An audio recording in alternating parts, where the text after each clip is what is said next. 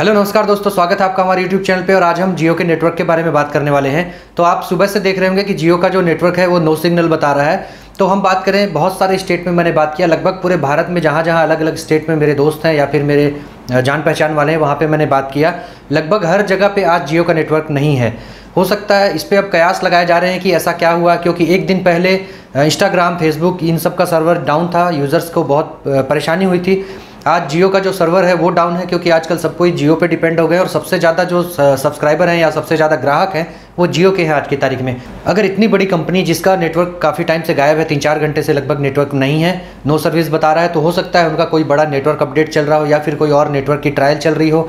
और जो स्टूडेंट्स हैं, जो पढ़ाई करते हैं ऑनलाइन उनके ऑनलाइन कक्षाएँ हैं क्लासेस हैं तो मैक्सिमम आपको पता है कि डेटा में आजकल जियो का यूजेस हो रहा है क्योंकि जियो का डेटा अन्य के कंपैरिजन में सस्ता है।